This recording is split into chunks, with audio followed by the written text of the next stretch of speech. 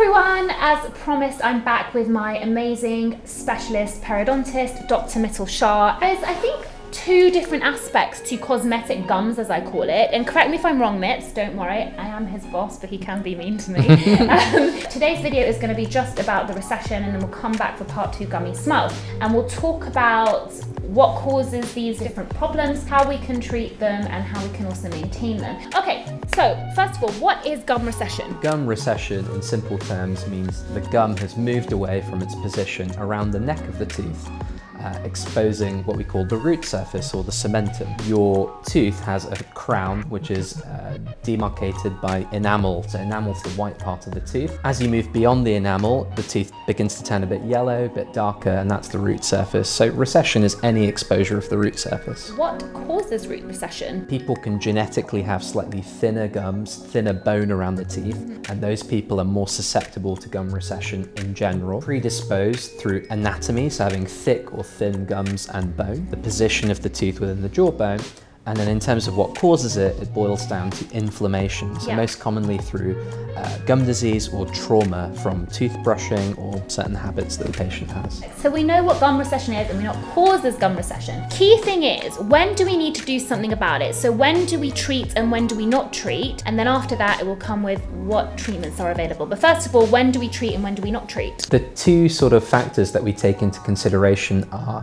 health and aesthetics. If we don't treat this gum recession, could the tooth be negatively affected? Could you potentially lose the tooth? And there are extreme cases of gum recession, you know, where if we don't do something and this gets worse, the patient will end up losing teeth. Aesthetics, it really boils down to how much is visible. Some people, uh, when they smile, the lip actually covers most of the gums yeah. and they don't show a lot of teeth. So even if Low there lip is... line, guys. I don't show much gum or any gum when I'm smiling. I wish I was a bit gummy, I have to admit that. but if you show gum on smiling, that's when you want to think about it. If the gums have receded, the proportions of the teeth will begin to be a bit off. The teeth will be too long, they'll look long in the tooth, uh, and for those reasons, people yeah. will often seek me out to say, can you do something? From a health perspective though, what are the risks? I mean, some people have come to me before and said, oh my God, my, look at the recession here, my tooth's about to fall out. So when do you have to treat and when do you not have to treat? If apart from looking long in the tooth and having sensitivity possibly? You strongly advise treatment if uh, there are several factors that are going in favour of the recession getting worse. So this boils down to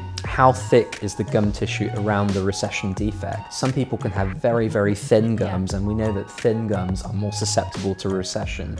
So if you've got no thick gum at all around the tooth and the recession's quite bad, it's probably a good time to do something to prevent that from getting worse. Yeah. If the recession's really, yeah. really deep and you take an x-ray and you look and the tooth's lost a lot of bone around yeah. it. And you're sort of thinking well if this recession reaches the end of the root the tooth's going to die yeah. have to do something. So we know when to treat and when not to treat. Now what are the options available for recession? What gets frustrating is people turn to dr google rather than actually trusting a, a professional. Yeah. it boils down to two things. One is we need to consider are we going to reposition the gum back to where it used to yeah. be? And if we are there's different techniques to do that the second part is do we need to do a graft? So a graft is basically trying to transform the tissue. Yeah. If the gum is very thin, can we do something to make it thicker and less prone to recession in the future. Technique-wise, the most common procedure uh, that we do uh, if we're solely trying to thicken the gums is something called a free gingival graft. This is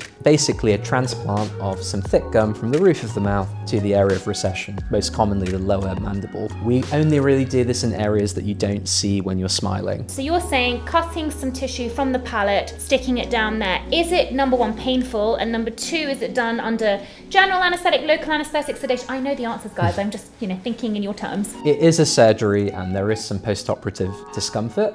But to be honest, if you take painkillers like paracetamol and ibuprofen, within three days, most people are fine. We typically do 95% of procedures under local anesthetic. For cases where maybe we're doing a bigger surgery, treating more teeth, or the patient's a bit anxious, very easy to arrange for intravenous sedation. So you're fully awake, you can still uh, talk, breathe, but you're just chilled out. And people often ask, is it really painful on the palate? Do I have to have a soft diet?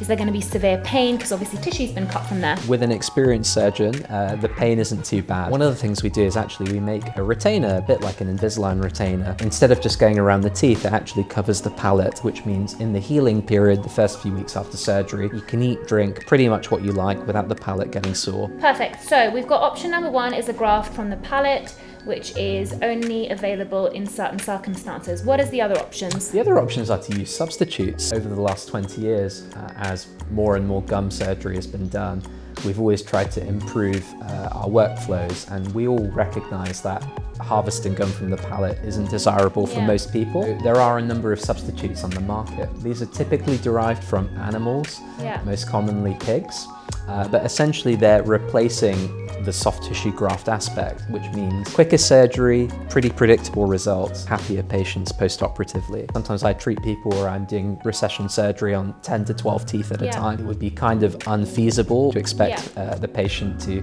have that much gum tissue harvested from the palate, so substitute is perfect. And if you're vegan, are there options? Unfortunately, as far as I'm aware, no, other than using your own tissue. graft and substitute are the two options. Sometimes we don't actually need to graft, so if you have existing thick gums, and the recession defect we're trying to cover isn't actually that big, we can simply just move the existing gum without the need for a graft. And obviously you can monitor it if it's really bad and again, low lip line, also if you don't have any sensitivity. The reason why you have sensitivity is because when the gums do recede, they expose what we call the underlying dentine. The dentine is the more sensitive part of the tooth, so when you have something like ice cream, for example, it triggers the nerve endings in that more sensitive part, so sometimes that could, you know, push you to have treatment. When you come for a consultation, we've really talked through all of the options. For mild recession, where we're talking only about a millimeter, two millimeters, maybe some composite bonding to actually cover the recession, extending a veneer to cover the recession, you know, could be a valid option. Yeah. But we always take into consideration your smile, your face, uh, your belief will sort of give you all of the options um, based on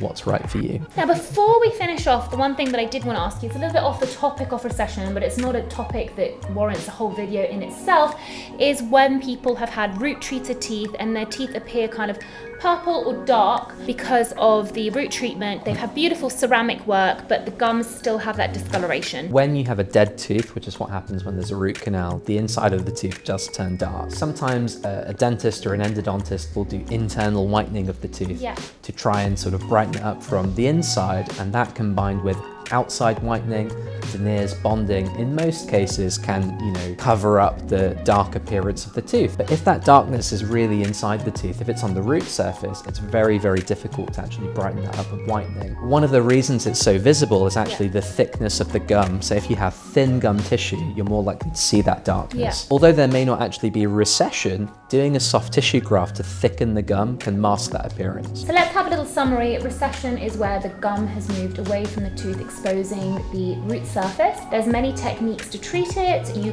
which includes having nothing done, also having a graft from the palate or a substitute. I would always go to a gum specialist. I feel that it's quite complex treatment, that's my own opinion. There are treatments available to cover dark roots if you have thin tissue there by having a graft as well. If you need any more information, mm. please contact me or Mitul. And yep. that's it. We're signing off and we'll see you later with the gummy smiles.